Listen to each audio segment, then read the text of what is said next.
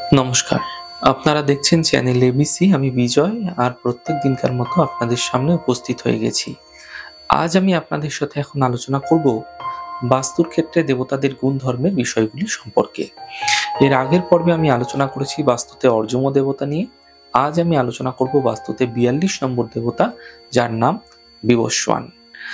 এই বিবস্বান দেবতা ত্রিপাদিক দেবতা হয়ে থাকেন। আন্তরিক এবং গুরুত্বপূর্ণ পদ এখানটি হয়ে থাকে। অগ্নি বিভাস্বান নামে পরিচিত হয়ে থাকে। অর্থাৎ অগ্নির যে জোনটি, অর্থাৎ দক্ষিণ দিকের যে জোনটি, সেটা বিভাস্বান নামে পরিচিত। এই পদ অগ্নিকেই উপস্থাপন করে থাকে, অর্থাৎ তার সঙ্গে সম্পর্কিত হয়ে থাকে। এটি শক্তি ও ইতিবাচক ক্ষমতার কেন্দ্রভূমি, যেখানেই অগ্নি উপস্থিত বিবস্বনও তার সঙ্গে উপস্থিত হয়ে থাকেন। শাস্ত্রে যে দ্বাদশ আদিত্য আছেন বিভাস্বান তার মধ্যে একটি। যখন বিবর্ষণের পদ শুভ হয়, তখন একজন ব্যক্তি উচ্চমাত্রা, জীবনী শক্তি ও প্রাণোচ্ছল প্রকাশ করে থাকে সর্বদা। তার মধ্যে একটা আলাদাই চন্মনে ভাব কিন্তু দেখা যায়। সে স্বভাবগতভাবে প্রাণবন্ত হয় এবং অন্যদের কর্মোদ্যমী হওয়ার জন্য উৎসাহিত করে। কারণ অগ্নির মধ্যে সেই ভাবধারা দেখতে পাই যে উদ্যম বা এবং উচ্ছ্বাসিত ভাব, তার, তারা কিন্তু ভীষণভাবে যুক্তিবাদীও হয়ে থাকে এবং যে যে কোনো কাজ তারা কিন্তু উচ্চ মানের লক্ষ্য নিয়ে করতে চেষ্টা করে। তার মেধার কারণে সে ন্যায়ের পথে বিচরণ করতে পারে এবং সমস্ত দুষ্ট শক্তিকে ধ্বংস করার প্রবণতা কিন্তু প্রভাব এই বিবস্বান দেবতার মধ্যে রয়েছে। সে বাস্তুতে যেই স্থানে অবস্থান করে, সেই অবস্থান, অবস্থিত স্থানটি কিন্তু এই এনার্জি ফিল্ডগুলো নির্দেশ করে থাকে। তার মধ্যে নিয়ম নিয়ম থাকবে, নিয়ম শৃঙ্খলা থাকবে, সে নিয়ম শৃঙ্খলায় বিশ্বাস করবে, নিয়ম শৃঙ্খলাবদ্ধ থাকবে। অর্থাৎ জোম এবং নিয়ম তার সাথে সাথেই সম্পর্কিত তার কারণ জমের পদ এটি। একটি ইতিবাচক বিবর্ষণ পদ সুনিশ্চিত করে যে সর্বদাই সঠিক পথে বিচরণ করে।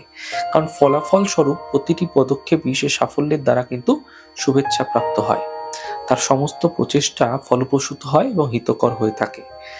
যখনই এই পথ প্রতিকূল হয়, তখন নেতিবাচক যে শক্তিগুলি আছে, সেগুলি পূর্ণ হতে দেখা যায়, তখন একজন ব্যক্তি বৈষয়িক ভোগ সুখের দিকে ধাবিত হয়ে থাকে। সে জীবন থেকে বিচ্ছিন্ন হয়ে যায়, সে ভুল চিন্তার বশবর্তী হয়ে দুষ্ট পথকে কিন্তু চয়ন করে। তার অপকর্মের ফলস্বরূপ সে নিরাপত্তাহীনতা ও আতঙ্কে ভোগে সর্বদা। যদি এই স্থানটি অশুভ হয়ে যাচ্ছে, দুস্থান খারাপ প্রভাবযুক্ত হয়ে যাচ্ছে, তো সে তীব্র দুর্দশার মধ্যে দিন যাপন করে এবং সে কর্মশক্তি হারিয়ে, কাজকর্ম হারিয়ে সে কিন্তু জীবনের যে দিশা, জীবনের যে লক্ষ্য সেটাকে কিন্তু হারিয়ে ফেলে। তাই জীবনে অশুভ হওয়ার কারণে কিন্তু অধিকাংশ সময় সে ক্রুদ্ধ হয়ে থাকে। যদি এই পথটি কোনো রকম ভাবে তার ক্ষেত্রে অশুভ হচ্ছে, তো দেখুন, এই পথ যদি কখনো আদর্শ হয়ে যাচ্ছে, শুভ হয়ে যাচ্ছে, তো সংগঠনের যে কাজকর্ম সংগঠনের যিনি কর্তা রয়েছেন, সংগঠনের যিনি প্রধান রয়েছেন, তার পরিবারে যে কর্তার যে শয়ন কক্ষ সেটা কিন্তু এই স্থানে করা যেতে পারে। তিনি বিচারক আছেন, প্রধান আছেন, মন্ত্রী আছেন এবং পরিচালকের অত্যাবশ্যক বিষয়ে কিন্তু সিদ্ধান্ত গ্রহণের বিষয় রয়েছে, সেক্ষেত্রে এই স্থানটি কিন্তু ব্যবহার করা যেতে পারে বিবস্বানের ক্ষেত্রে। দেখুন, যদি এই পথটিতে আপনারা জলাধার করছেন তাহলে এই পথটি কিন্তু শুভ নয়।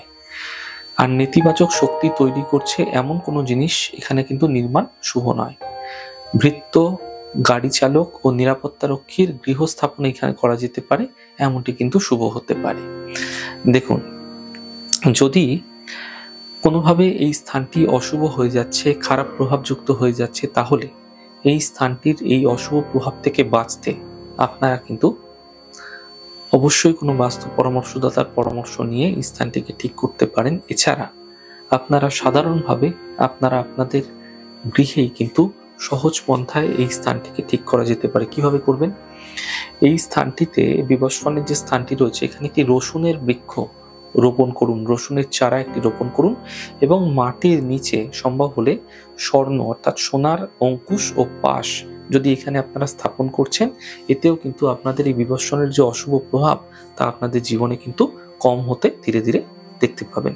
তাহলে আজ আলোচনা করলাম আপনাদের সাথে, বাস্তুতে বিবর্ষণ দেবতার ভূমিকা কি আছে এবং বিবর্ষণ দেবতা আমাদের জীবনে কি প্রভাব সৃষ্টি করে থাকে, কি শুভ প্রভাব দিয়ে থাকে, কি অশুভ প্রভাব দিয়ে থাকে সেই সম্পর্কে। আমাদের ছোট ছোট আলোচনা আপনাদের কীরকম লাগছে অবশ্যই কিন্তু লিখে জানাবেন। যদি ভালো লেগে থাকে সেক্ষেত্রে লাইক করতে কমেন্ট করতে সাবস্ক্রাইব করতে এবং শেয়ার করতে বন্ধুদের সাথে ভুলবেন না। অনেক ভালো থাকুন, সুন্দর থাকুন, সুস্থ থাকুন। আগামী পর্বে দেখা হবে।